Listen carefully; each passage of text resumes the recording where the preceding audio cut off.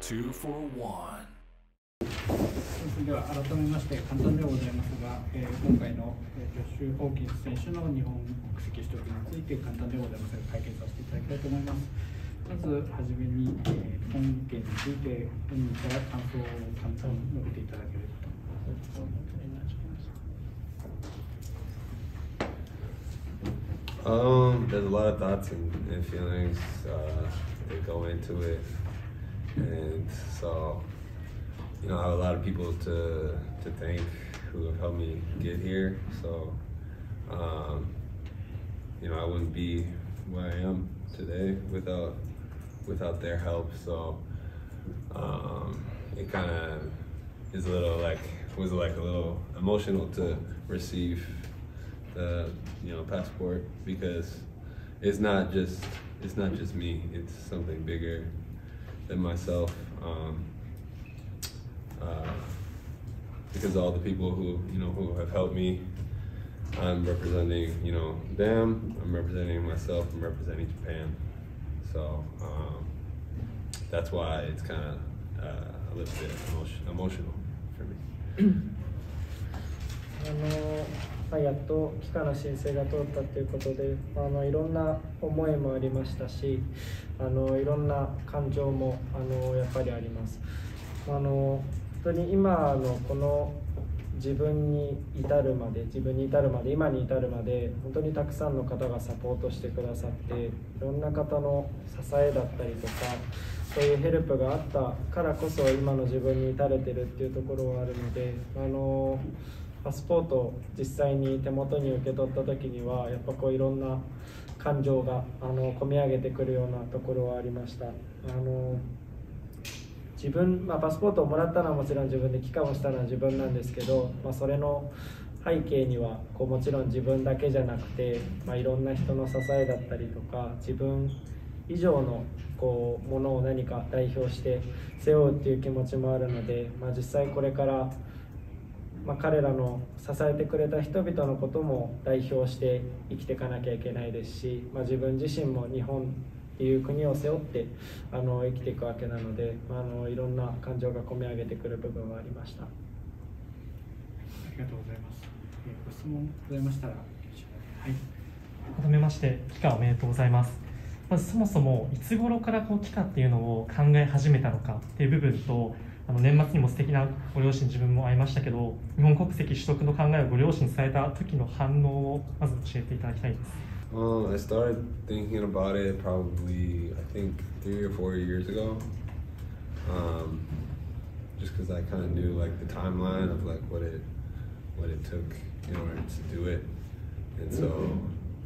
um, obviously it doesn't just kind of happen overnight. It's something that I've thought about for for a very long time, and there's a lot of things that kind of you have to do in order to uh, in order to be able to receive the passport too. So um, yeah, I would say about four four years ago, and then yeah, I've talked to my parents a lot about um, with it too,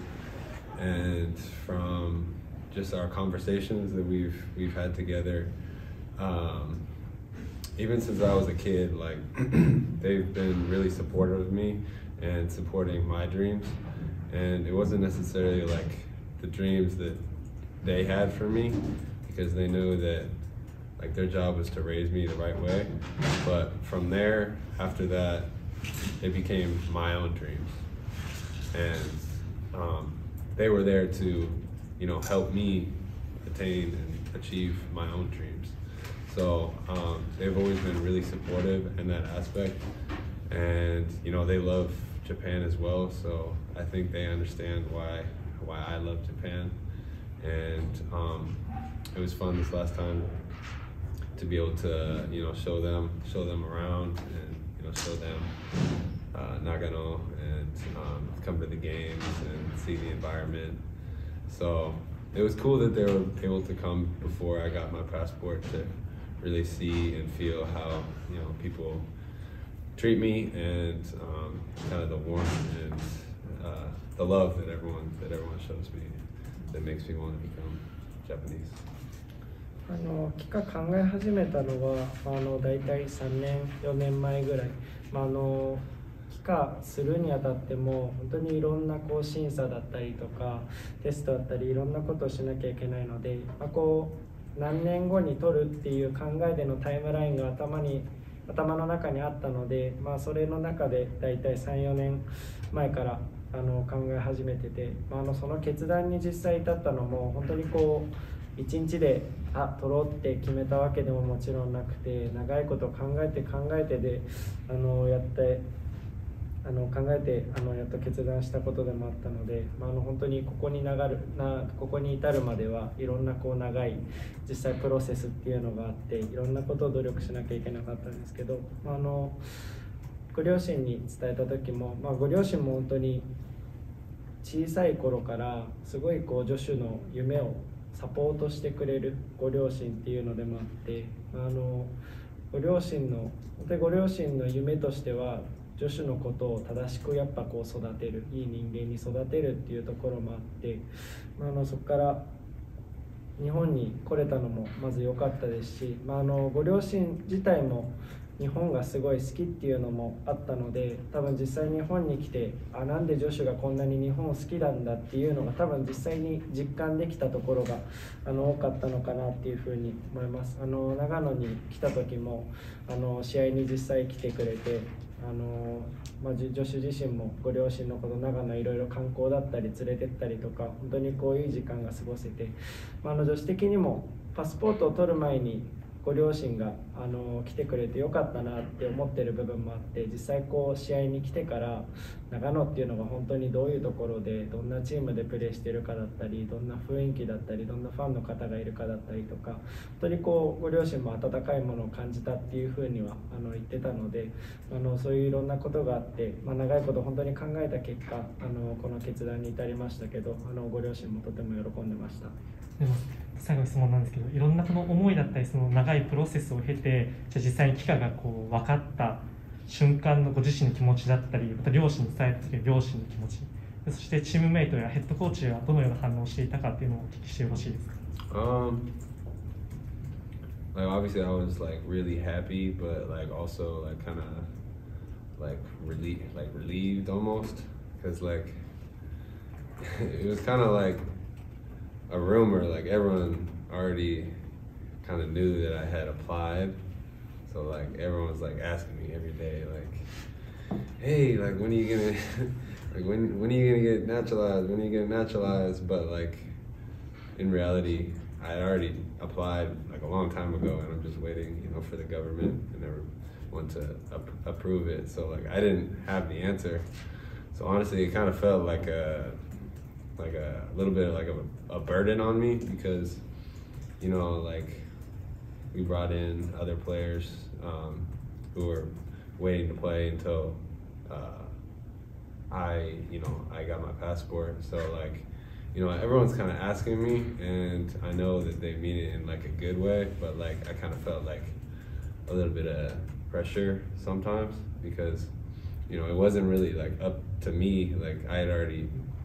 you know, just decided and applied a long time ago, but it was wasn't my choice on on the timing. Um, but then when I, you know, officially like received the news, like all my teammates were, you know, really really excited for me, and uh, they told me that I needed to choose a, a Japanese name,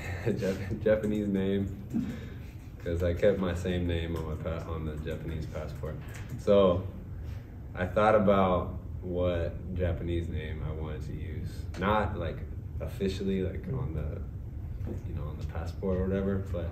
in case um, my Japanese teammates or anyone wanted to use it, I, I chose uh, Takahiro. and Taka like hawk kanji, and then hiro like die, like big big hawk. That's like one of my nicknames in America, and I wanted to incorporate like my family into it because my last name is Hawkinson. So I wanted to incorporate like those two things together. So like you don't have to call me that or anything. But recently, ever since I became Japanese, everyone they call me Taka-chan, Takahiro. So they're not calling me Josh anymore, which is funny. あのやっと通った時はシンプルにまあ嬉しいっていう感情が大きかったです あの気持ち的にもあこういややっと取れたっていう気持ちが大きかったのもあって、まあ、あのずっとシーズンの前ぐらいから多分噂ではやっぱり流れてた話でもあって、まあ、あの女子が帰化申請のその申し込みをしたよっていう申請をしたよっていうやっぱり噂もずっと流れてたところでもあって、まあ、本当にこう毎日えいつ帰化するの？いつパスポートもらえるの？ってやっぱり聞かれてるところもありましたけど、まあ、実際助手がいつ取れるかどうかっていうのは助手次第ではなくて、まあ、政府さんのそっちの方の問題っていうのもあったので結果いつって言われてもそんな答えは助手自身出せないのもあって、ま、あの助手が帰化するっていうのが分かってたのもあったのでそれでそれ用に選手も連れてきたっていうのもあったんですけどなかなかこうそこのプロセスもちょっと長くなってしまったのもあったのでたまにこうあまだなのかなってこう自分にプレッシャーをやっぱり感じてしまうっていうところも、えーあって、まあ、それでもやっぱまあ自分がどうこうできる話でもなかったので、まあ、あの難しい話なんですけど、まあ、あのやっと正式に通った時にはあの自分も嬉しい感情もありましたしチームメイトも助手に対してすごいワクワクしてくれてるあの感情っていうのもあってあのやっと日本人になったっていうのもあったのであの練習の分かった日か分かった日の練習の最初のミーティングでも一応みんなからおめでとうっていう言葉をもらって、まあ、その時に何人かのチームメイトに「え日本人になったんだったらニックネーム日本語の名前必要なんじゃない?」っていう話になって、まあ、あのこの名前別に全然パスポートに本当に記載してあるとか全然そういうわけではないんですけど、まあ、あの一応「高弘」っていうニックネームをつけたんですね。でそれは、まあ、高弘の高はジョシュ・ホーキンソンのホーク高ですね。高に広は大きい、まあ、ジョシュが大きいっていうのもあるのでだから高弘っていう名前でつけててあのアメリカにいる時とかはあんまりジョシュって呼ばれることなくて結構ホークとか J ホークとかって呼ばれることがあって、まあ、の家族のファミリーネームもホーキンソンっていうのもあったのでそこをちょっとこう2つ意味をかけたいっていうところもあって高弘っていうあのニックネームをつけたんですけど、まあ、あのその名前決め始めてからあんまりみんなジョシュって呼んでくれなくなっちゃってみんなタカちゃんタカちゃんとかって 練習中に呼ばれるようになったのはありますけど、まあ、あのやっと帰化申請が取って、まあ、あのシンプルに嬉しい気持ちでいっぱいです。ありがとうございます。最後までご視聴いただきありがとうございました。チャンネル登録、高評価よろしくお願いします。それでは、241でした。